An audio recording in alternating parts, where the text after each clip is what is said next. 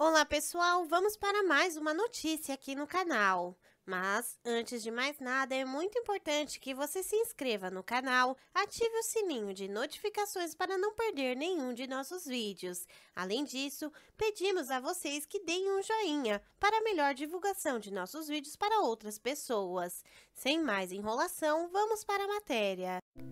Segundo o site de notícias Jornal Cruzeiro, acabou falecendo nesta terça-feira, aos 81 anos, o pai do gestor e presidente do Conselho de Administração da Santa Casa de Misericórdia de Sorocaba.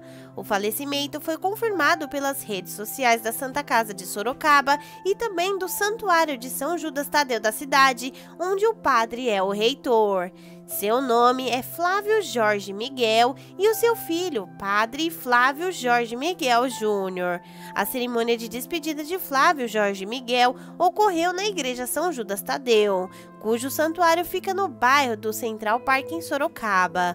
Para ver a matéria completa, clique no link da descrição.